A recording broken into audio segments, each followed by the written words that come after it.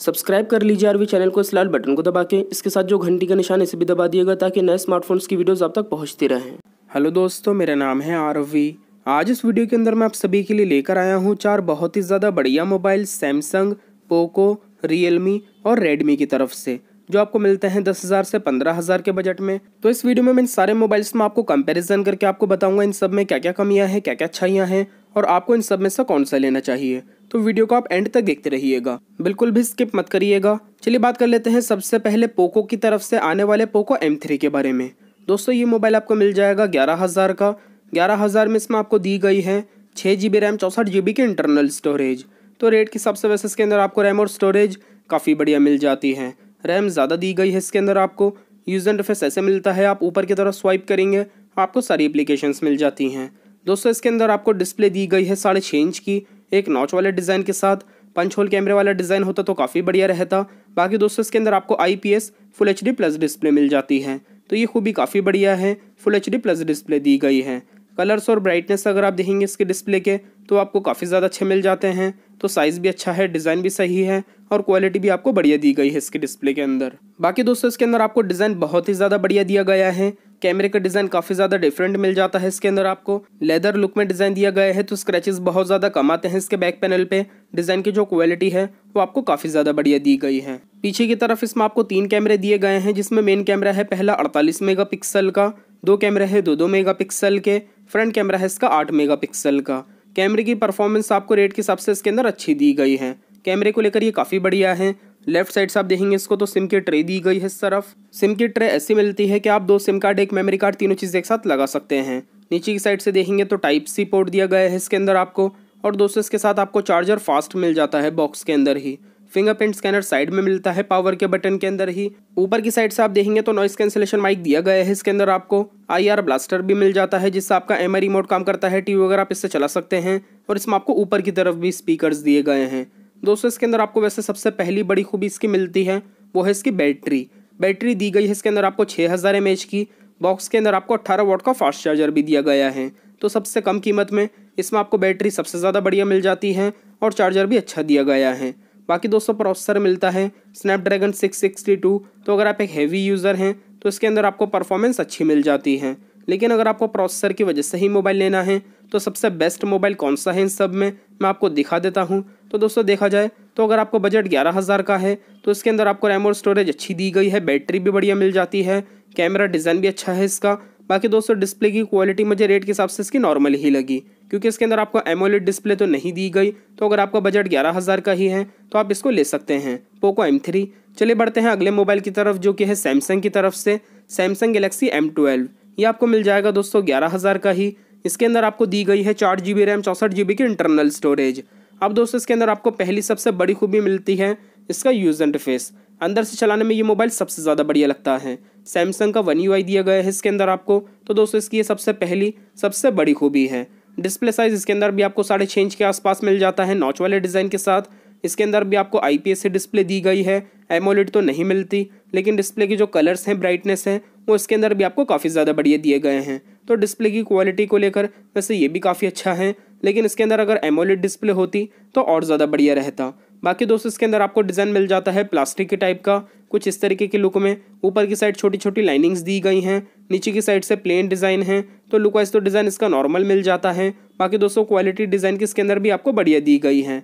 पीछे की तरफ़ चार कैमरे मिलते हैं, जिसमें मेन कैमरा है पहला अड़तालीस मेगा का, दूसरा पाँच, बाकी के दो कैमरे हैं दो दो मेगा के फ्रंट कैमरा है इसका आठ मेगा का। कैमरे की परफॉर्मेंस आपको रेट के हिसाब से इसके अंदर भी अच्छी मिल जाती है। लेफ़्ट साइड पर इसमें भी सिम की ट्रे दी गई है। इसके अंदर भी आप दो सिम कार्ड, एक मेमोरी कार्ड, तीनों चीज़ एक साथ लगा सकते हैं। नीचे की तरफ़ इसमें भी आपको टाइप सी पोर्ट दिया गया है। राइट साइड से आप देखेंगे तो पावर के बटन के अंदर ही फिंगरप्रिंट स्कैनर दिया गया है सैमसंग के अंदर भी, पोको एम थ्री की तरह। ऊपर की साइड से आप देखेंगे तो नॉइस कैंसिलेशन माइक दिया गया है इस तरफ़। अब दोस्तों, इसके अंदर आपको बैटरी मिलती है छः हज़ार एम की पंद्रह वोट के फास्ट चार्जर के साथ। तो बैटरी बैकअप इसके अंदर भी आपको बहुत बढ़िया मिल जाता है, काफ़ी कम कीमत में ग्यारह हज़ार में। चार्जर भी फास्ट दिया गया है बॉक्स के अंदर ही। प्रोसेसर इसके अंदर आपको मिलता है एक्जीनोस का एट फाइव ज़ीरो तो दोस्तों, अगर आप एक हैवी यूज़र हैं परफॉर्मेंस अगर आपको बहुत ही ज़्यादा बढ़िया चाहिए तो वैसे मुझे इस मोबाइल के अंदर परफॉर्मेंस नॉर्मल ही लगी। इससे और ज़्यादा बढ़िया स्मार्टफोन्स आपको मिल जाते हैं, जिनके बारे में हम अभी बात करेंगे। तो दोस्तों, देखा जाए तो इसके अंदर आपको तीन चीज़ें बढ़िया दी गई हैं। एक तो इसका यूज़ इंटरफेस सबसे बढ़िया है अंदर से चलाने में, ये सबसे ज़्यादा अच्छा लगता है इन सारे मोबाइल्स में। दूसरा इसके अंदर आपको बैटरी बढ़िया दी गई है, और तीसरा इसके अंदर आपको सैमसंग का भरोसा मिल जाता है। अगर आपको सैमसंग पे ही भरोसा है तो आप इस मोबाइल को ले सकते हैं इन तीन खूबियों के लिए। बाकी दोस्तों प्रोसेसर में कैमरे में डिज़ाइन में ये मोबाइल मुझे रेट के हिसाब से नॉर्मल ही लगा। चलिए बढ़ते हैं अगले मोबाइल की तरफ़, जो कि है रेडमी की तरफ़ से रेडमी का नोट टेन। ये आपको मिल जाएगा सिर्फ़ बारह हज़ार का, एक हज़ार महँगा है पोको एम थ्री और गैलेक्सी एम से सैमसंग के। दोस्तों, इसके अंदर भी आपको दी गई है चार जी बी रैम चौंसठ जी बी के इंटरनल स्टोरेज लेकिन दोस्तों, पहला बड़ा फ़र्क है इस मोबाइल के अंदर आपको इसकी डिस्प्ले जो मिलती है आपको, वो मिल जाती है एमोलेड जो आपको सैमसंग के अंदर पोको के अंदर नहीं दी गई। इसके अंदर आपको मिल जाती है। तो डिस्प्ले की जो क्वालिटी है, वो इसके अंदर आपको कलर्स ब्राइटनेस वो बहुत ज़्यादा बढ़िया दी गई है। सैमसंग गलेक्सी एम ट्वेल्व और पोको एम थ्री से। डिज़ाइन भी ज़्यादा बढ़िया मिल जाता है, पंचोल कैमरे वाला। डिस्प्ले के अंदर ही कैमरा है बीच में। तो डिस्प्ले का डिज़ाइन साइज़ क्वालिटी हर चीज़ इसके अंदर आपको काफ़ी बढ़िया दी गई है। साढ़े छः इंच के आसपास डिस्प्ले है। दूसरी बड़ी खूबी, इसका डिज़ाइन बहुत ज़्यादा बढ़िया है। लुक वाइज इसका डिज़ाइन आपको Poco M three Samsung Galaxy M twelve से ज़्यादा बढ़िया मिल जाता है। आप देख सकते हैं कलर इसका बहुत ही ज़्यादा अच्छा लग रहा है। प्लास्टिक के टाइप का डिज़ाइन है स्क्रैचेस आसानी से आ जाएँगे। आप बिना कवर के यूज़ मत करिएगा। बाकी लुक वाइज तो डिज़ाइन इसका बहुत बढ़िया है। पीछे की तरफ़ इसमें आपको चार कैमरे दिए गए हैं, जो कि इसकी तीसरी खूबी है। इसमें मेन कैमरा है पहला अड़तालीस मेगापिक्सल का, दूसरा आठ मेगापिक्सल का। दो कैमरे हैं दो दो मेगापिक्सल के। फ्रंट कैमरा है इसका तेरह मेगापिक्सल का। कैमरे की जो परफॉर्मेंस है, वो आपको इसके अंदर बहुत ही ज़्यादा बढ़िया मिल जाती है। लेफ़्ट साइड से आप देखेंगे तो सिम की ट्रे दी गई है इस तरफ़। इसमें भी दो सिम कार्ड, एक मेमोरी कार्ड, तीनों चीज़ एक साथ लगा सकते हैं। नीचे की साइड से आप देखेंगे तो टाइप सी पोर्ट इसके अंदर भी आपको दिया गया है। राइट साइड से आप देखेंगे तो वॉल्यूम के बटन, उसी की ठीक नीचे पावर का बटन। फिंगरप्रिंट स्कैनर इसमें आपको साइड में ही मिल जाता है पावर के बटन के अंदर। ऊपर की साइड से आप देखेंगे तो नॉइस कैंसिलेशन माइक दिया गया है। आई आर ब्लास्टर मिल जाता है जिससे आपका एम रिमोट काम करता है और इसमें आपको ऊपर की तरफ़ भी स्पीकर्स दिए गए हैं। इसमें एक्स्ट्रा खूबियाँ हैं। बाकी दोस्तों बैटरी इसके अंदर आपको मिल जाती है पाँच हज़ार एमएच की। इसी के साथ आपको चार्जर भी काफ़ी ज़्यादा फास्ट दिया गया है तैंतीस वॉट का बॉक्स के अंदर ही, जो आपको ज़्यादा बढ़िया मिल जाता है पोको एम थ्री और सैमसंग से। चार्जर इसके साथ आपको सबसे ज़्यादा फास्ट दिया गया है। प्रोसेसर इसके अंदर आपको मिल जाता है स्नैपड्रैगन सिक्स सेवेंटी एट तो परफॉर्मेंस इसके अंदर भी आपको बहुत बढ़िया मिल जाती है। तो दोस्तों, लगभग देखा जाए तो इस मोबाइल के अंदर आपको सारी चीज़ें बहुत ज़्यादा बढ़िया ही दी गई हैं। डिज़ाइन भी इसका बहुत अच्छा है, इसी के साथ डिस्प्ले भी बढ़िया दी गई है कैमरा भी अच्छा है प्रोसेसर भी बढ़िया मिल जाता है और बैटरी भी अच्छी दी गई है ज़्यादा अच्छे चार्जर के साथ। तो सारी चीज़ों में नोट नाइन बहुत ज़्यादा बढ़िया है बारह हज़ार में। चलिए बढ़ते हैं लास्ट मोबाइल की तरफ़, जो कि है रियलमी का एट जो लेटेस्ट लॉन्च कर दिया रियलमी ने पंद्रह हज़ार का। दोस्तों, इसकी कीमत पंद्रह हज़ार है सबसे ज़्यादा, लेकिन इसके अंदर आपको दी गई है चार जी बी रैम एक सौ अट्ठाईस जी बी की इंटरनल स्टोरेज तो स्टोरेज इन सारे मोबाइल्स में आपको सबसे ज़्यादा दी गई है, इसी मोबाइल के अंदर रियलमी एट में। इसी के साथ दोस्तों, दूसरी बड़ी खूबी जो इसके अंदर आपको मिलती है, वो है इसकी डिस्प्ले रेडमी के नोट टेन की तरह इसके अंदर भी आपको एमोलेड डिस्प्ले दी गई है। कलर्स और ब्राइटनेस आप देख सकते हैं इसके डिस्प्ले के, आपको बहुत बढ़िया मिल जाते हैं। इसी के साथ बड़ी खूबी ये है, इसके अंदर आपको फिंगरप्रिंट स्कैनर डिस्प्ले के अंदर ही दिया गया है। वैसे नोट टेन की डिस्प्ले की जो ब्राइटनेस है, उससे ज़्यादा अच्छी ब्राइटनेस आपको इसके अंदर मिलती है। हालाँकि कलर्स दोनों में बढ़िया हैं। डिज़ाइन इसके अंदर आपको दिया गया है प्लास्टिक के टाइप का। लुक वाइज इसका डिज़ाइन भी बहुत ज़्यादा बढ़िया है। लाइट की रिफ्लेक्शन इसके बैक पैनल पे भी आपको बहुत ज़्यादा बढ़िया मिल जाती है। बात करें दोस्तों कैमरे के बारे में तो पीछे की तरफ़ इसमें आपको चार कैमरे दिए गए हैं, जिसमें मेन कैमरा है पहला चौंसठ मेगापिक्सल का, दूसरा आठ, दो कैमरे हैं दो दो मेगापिक्सल के फ्रंट कैमरा है इसका सोलह मेगापिक्सल का।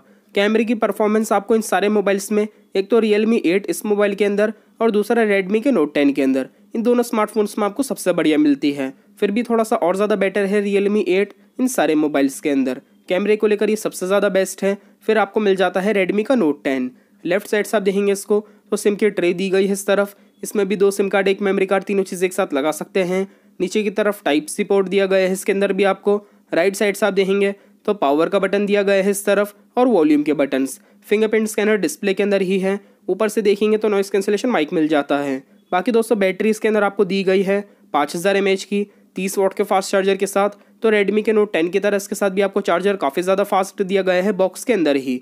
लेकिन दोस्तों, एक खूबी सबसे ज़्यादा बढ़िया है इसके अंदर, जो कि है इसका प्रोसेसर इसमें आपको मिलता है मीडियाटेक का जी नाइन्टी फाइव प्रोसेसर अब देखिए, अगर आप एक बहुत ही ज़्यादा हैवी यूज़र हैं परफॉर्मेंस ही आपको बहुत बढ़िया चाहिए तो प्रोसेसर को लेकर ये मोबाइल सबसे ज़्यादा अच्छा है इन सारे मोबाइल्स के अंदर। परफॉर्मेंस इसके अंदर आपको सबसे बढ़िया मिल जाती है। फिर नोट टेन के अंदर और बाकी के दोनों मोबाइल्स के अंदर आपको नॉर्मल ही प्रोसेसर दिए गए हैं पोको एम थ्री और गैलेक्सी एम के अंदर। तो दोस्तों, देखा जाए तो डिस्प्ले की क्वालिटी इसी के साथ कैमरा काफ़ी बढ़िया बैटरी अच्छे चार्जर के साथ और इसी के साथ बढ़िया प्रोसेसर ये खूबी आपको रियलमी एट में मिल जाती हैं पंद्रह हज़ार में।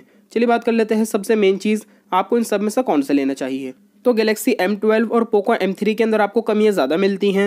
मैं आपसे यही कहूँगा अगर आपका बजट ग्यारह बारह हज़ार तक का ही है आप उससे ऊपर नहीं बढ़ सकते तो तो आप रेडमी का नोट टेन खरीदिएगा ये आपके लिए सबसे बेस्ट रहेगा। बाकी दोस्तों अगर आपका बजट थोड़ा और बढ़ सकता है तो पंद्रह हज़ार में रियलमी एट आपके लिए सबसे ज़्यादा बढ़िया रहेगा क्योंकि उसके अंदर आपको एक तो प्रोसेसर दूसरा डिस्प्ले की थोड़ी सी ब्राइटनेस और इसी के साथ दोस्तों कैमरा ये तीन चीज़ें और ज़्यादा बढ़िया दी गई हैं। तो अगर आपके लिए प्रोसेसर ही मैटर करता है तो, तो आप रियलमी एट ही खरीदिएगा और कैमरा बढ़िया चाहिए आपको बहुत ही ज़्यादा तो भी आप रियलमी एट ले सकते हैं। बाकी दोस्तों, कम कीमत में नोट टेन भी बहुत ज़्यादा अच्छा है। तो कम कीमत में नोट टेन बढ़िया है। और अगर आपका बजट ज़्यादा है तो रियलमी एट आप बताइएगा दोस्तों, फिर भी कमेंट करके आपको इन सब में कौन सा ज़्यादा अच्छा लगा। ये चीज़ कमेंट करके ज़रूर बताइएगा। वीडियो अगर आपको पसंद आए तो वीडियो को लाइक कर दीजिए। वीडियो के नीचे जो लाल कलर का बटन उसे दबा के चैनल को सब्सक्राइब कर लीजिए। बेल आइकन भी दबा देगा ताकि नई वीडियोस आप तक पहुँचती रहें। इसके अलावा वीडियो अगर आपको हेल्पफुल लगी तो अपने दोस्तों के साथ इस वीडियो को शेयर कर दिएगा व्हाट्सएप, फेसबुक पे। मिलते हैं अगली वीडियो में, तब तक के लिए टेक केयर बाय बाय